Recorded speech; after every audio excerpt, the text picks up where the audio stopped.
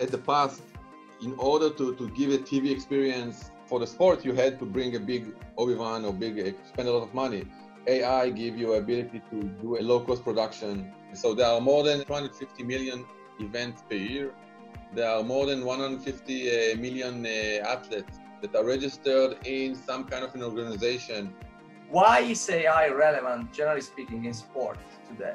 You use AI to solve issues that previously you solve it with other way, and now uh, AI make it uh, easier to, to work and give more option. But uh, AI is not the objective. The objective is to solve problems. And what are the problems in sport? One area is, is how to make sport healthier, how to make the athletes better.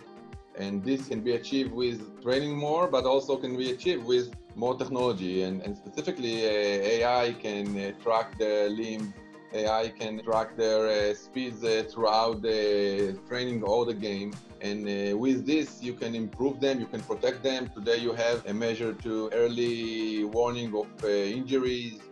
You have measure of give the exact fatigue of each athlete during the game and to see who is the one that is now more tired or not. This is from the, the data side. You now even have uh, companies that doing an analytic on the tactical. What is the right formation now to go against another the opponent?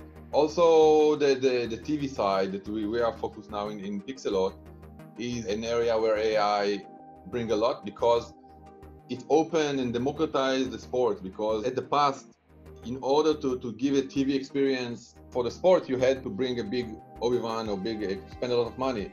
AI give you ability to do a low-cost production and give the ability to show the same TV experience from a, a young kid that's playing baseball in the, in, in uh, 10 years old to a professional league uh, that's playing uh, in Europe or whatever.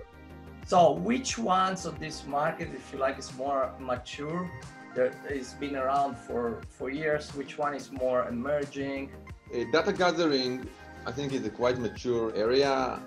My first company, SportVU, were leading this market since 2009, something like this. Uh, it was in the NBA already, it was in the in the Champion League, and I think it was mature. Still, you see a, few new companies in this area that uh, use more, uh, utilize more the AI and not the classic computer vision method, and that's why they give a higher quality. But the technology itself and the usage of the technology is quite mature. So this is the, the pure tracking or the, the pure analytic data. Understanding the, the game and understanding the tactic, understanding what you can get out of this data, it's more emerging and people still now do a lot of uh, research on the data itself in order to uh, extract the information out of it. In the TV production, I think that the production itself is getting more and more uh, mature. Before the Corona time, we produced uh, close to 100,000 hours of live content in a month, and it shows how mature is this solution.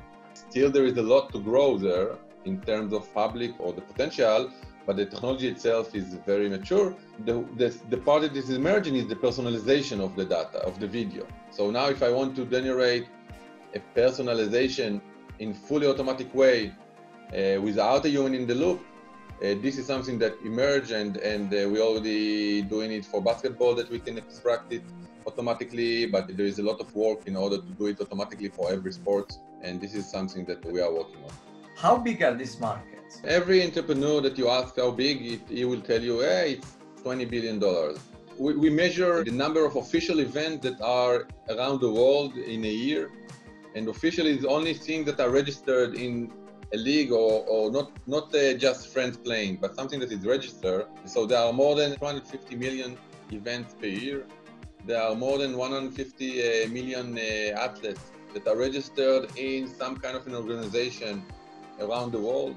And the traditional solution that you have for every part of the problems we mentioned cover less than 1% of these events and give information on about one less than 1% of these athletes. So it means that if you have uh, in Germany around 20,000 teams playing soccer, you have uh, 20 teams that are in the Bundesliga and these teams are being have the, the super uh, coverage. But what happened with all the rest? So the potential is huge.